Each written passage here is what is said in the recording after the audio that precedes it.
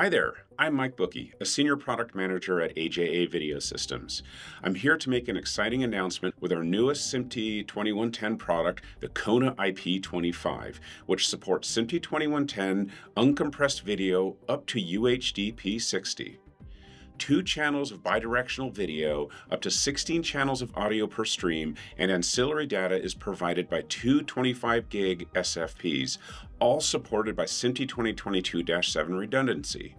The 8 lane PCIe 4 card is the only truly cross platform 25 gig SMPTE 2110 card with support for Windows, Linux, and Mac OS. The Kona IP25 handles all SMPTE 2110 functions, such as PTP and NMOS, on the card, ensuring your computer resources are available for content creation.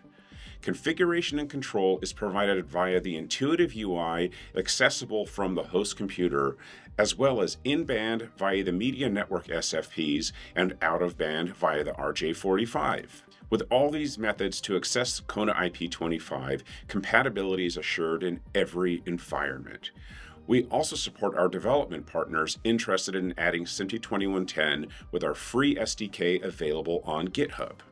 Like the rest of the Kona I.O. cards, Kona IP25 is compatible with an extensive range of third-party creative and streaming applications, including Premiere Pro, Final Cut Pro, Media Composer, and OBS.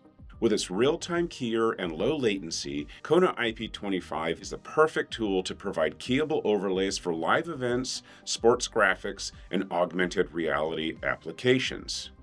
All these great features come with the Kona IP25, which is backed by our unmatched three-year warranty. To learn more about the Kona IP25, please visit aja.com.